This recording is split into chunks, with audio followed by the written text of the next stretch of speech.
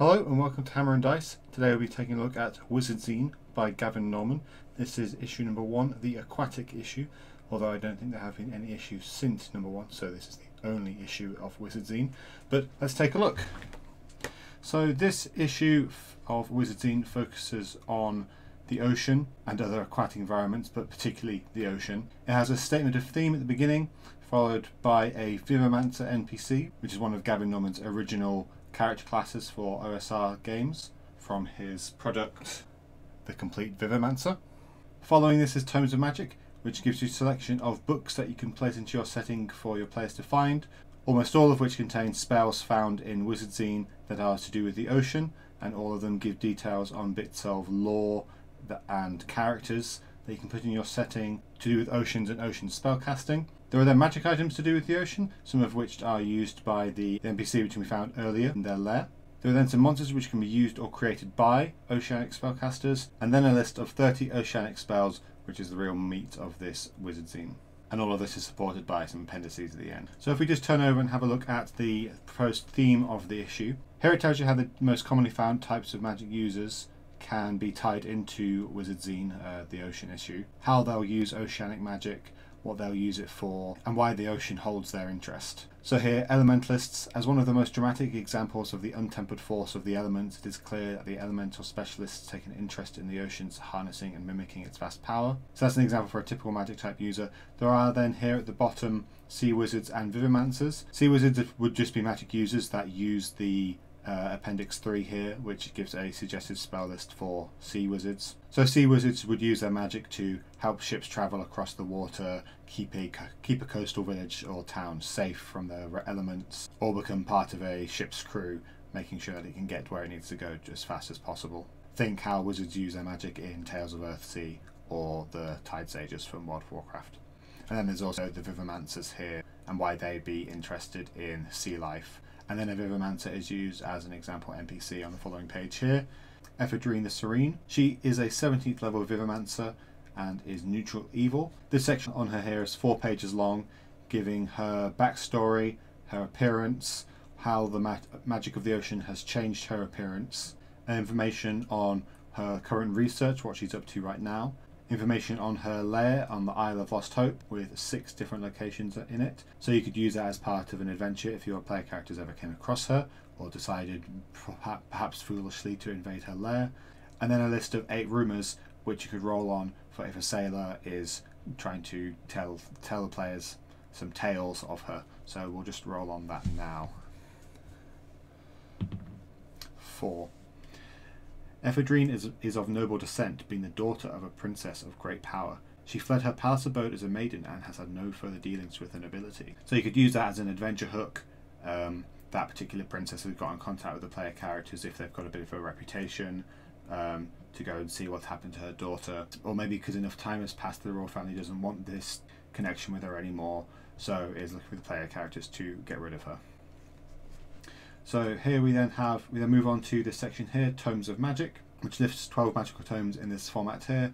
Title, author, language, and then gives you a details of what the book looks like, what information it contains, and then if it contains any spells, what those spells are. So I won't go through them all, but I will roll a d12 now, just to have a look. Uh, six. Phaline's Tome of the Seas, author Phaline, Sea Mage of the Carathid Fleet, language common, a large elegant book bound with cuttlefish skin whose colours shift with the passing of the day and upon contact. The tome is in pristine condition and bears its title embossed in elaborate gold lettering. Within it's found a general treatise on the sea magic along with the following spells control buoyancy, control weather, control winds, dive, ride the waves, water walk. So if a magic user in your game found that, they would have access to a whole number of sea-based spells that could aid them in travelling across the water or protecting the base that they're located out of from foul weather and would really open up the world for your players to start them moving into aquatic locations. We then have five magic items here, the Aquarium of Minification, the Brining Vat, the Clam of Wondrous Pearls, the Gill Symbiont, and the Solvent of Aquatic Transformation. All of these do weird and quite unusual things, and they definitely sit at that weird almost body horror-esque end of the OSR spectrum, such as the Aquarium of Minification, is a 10 foot long, 4 foot wide, 4 foot deep glass tank that is a perfect, that through magic is a perfectly uh, regulated aquarium. But if a humanoid character gets put in it, if they fail a save versus spell roll, then they are minified and transformed into a 6 inch tall miniature aquatic version of themselves and live happily in this aquarium, none the wiser that they're not meant to be in it. The brining vat allows you to create brine spawn or use it as a long term or preservation for a living creature. The clam of wondrous pearls can be used to just create a very valuable pearl every 12 months, or if magically tampered with, can create pearls with various magical effects. So I'll just leave the rest to your imagination and won't go through the Gill Symbiont or Solvent of Aquatic Transformation too carefully, but uh, you might be able to tell what they could do just through their names. So the monsters detailed here are the Brine Spawn, the Demon of the Deeps, and the Drowned Dead. The Brine Spawn are creatures created out of salt and briny water that are utterly loyal to their creator. They're created using the brining vats detailed before. The Demon of the Deeps is an aquatic demon that can be summoned by one of the brooks in the previous section. And the Drowned Dead is a alternative watery take on a zombie, and there are d6 variations here to give some variety to what your players encounter. So as I said, we get to the meat of the issue. There are 30 spells here, so I'm not going to go through them all. I'm just going to pick out some of my favourites. So just starting on this first page here, Call to the Deeps is a summoning spell where if you're in the water, you can summon a sea monster to your aid, or a horde of intelligent creatures that live in the water, such as merfolk. They aid you for a certain amount of time, depending on your level when casting it. Doing this requires a body part of the creature you've summoned, so to summon a more powerful creature, you'll have to somehow get hold of a body part of a similar type of creature.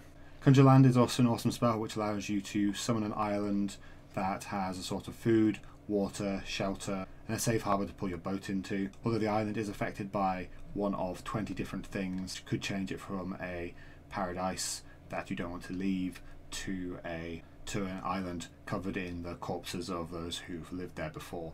So I'll just roll uh, one of those up now. 12. Mutant creatures roam the island. Simple and pretty straightforward, that one. Ghost Ship is another great one which summons a crew of ghostly sailors to pilot to your ship. This lasts for 8 hours, but you can make a sacrifice of a living person to extend that duration to a full 24 hours, or you can do a deal with the spirits of the dead, and that will then extend the duration of the spirit's servitude depending on what deal you get. Simple and straightforward one I like here. Island Hop just teleports you to an island you can see within your sight. Really useful for moving around in archipelagos or in a episodic campaign where each island could have a different adventure location in it. Seasickness, if you cast it, up to 3d6 hit dice of creatures become affected with seasickness. Or in the reverse, you can cast it on people out at sea to stop them being affected by seasickness to give them their sea legs. So a great spell there that really allows a ocean themed wizard to um, affect the battlefield in a unique way. And the final spell is also one of my favourites. Whale Speech allows you to speak to whales, but it also allows you to send messages through water to somebody else who is actively in that water. So if you've got some allies, maybe of some merfolk deep down in the water and you need to speak to them, you could use this spell to speak to them from a very long way away. Or just, you know, have a chat with a whale. So then the appendices this starts with a list of aquatic monsters you can summon for use with the Summon Monster Spell series. This is for uh, Labyrinth Lord. I know Gavin Normans has since created the BX Essentials and then Old School Essentials, which is a really great rule set. But he made this early enough that he hadn't created those yet, so this is designed for use with Labyrinth Lord. And then Appendix 2 is a random selection, so if you wanted to roll up one of those tomes of magic from before, so as I said before, there's 12 of them, and then roll on this chart here for one of 30 spells. So if you wanted to generate a spell scroll for one of your players to find, could just roll on this chart here. And then a Sea Wizard spell list. So a Sea Wizard would be somebody who uses their magic to live in and around the sea, travelling with boats to ensure their protection, spending time in port towns making sure that they're safe from bad weather, things like that, as well as the usual facing off against any sea-based threats. So that's Wizardzine. I think this does a very, very good job of giving you all the tools that you'd need to run some ocean-based adventures to incorporate sea wizards into your game. Adds a whole bunch of spells that can be found in the domains of magic users that reside along the coast, uh, even deep far underwater perhaps, as well as a uh, very powerful NPC that could be dropped into your game, especially if you've got the um, complete Vivomancer rules as a power player in your setting, having her own goals and desires, or just maintaining her domain and being a very powerful figure that the uh, players might want to avoid. So really, really like this. Been created by Gavin Norman, Wizardzine number one, the aquatic issue. Thank you for watching.